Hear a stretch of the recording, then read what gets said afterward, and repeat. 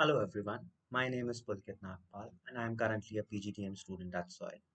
So I'm an engineering graduate and I was working with the telecom industry where I realized the importance of management and leadership skills along with the technical expertise.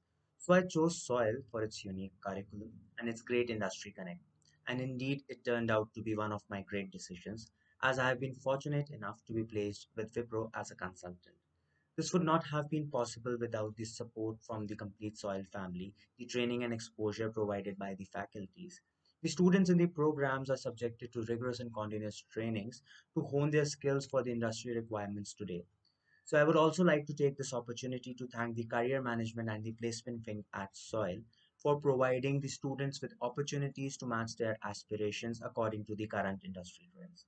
I'm looking forward to being a part of the Wipro family now, and I'm eager to apply the skills that I've gained during my two years journey at Soil.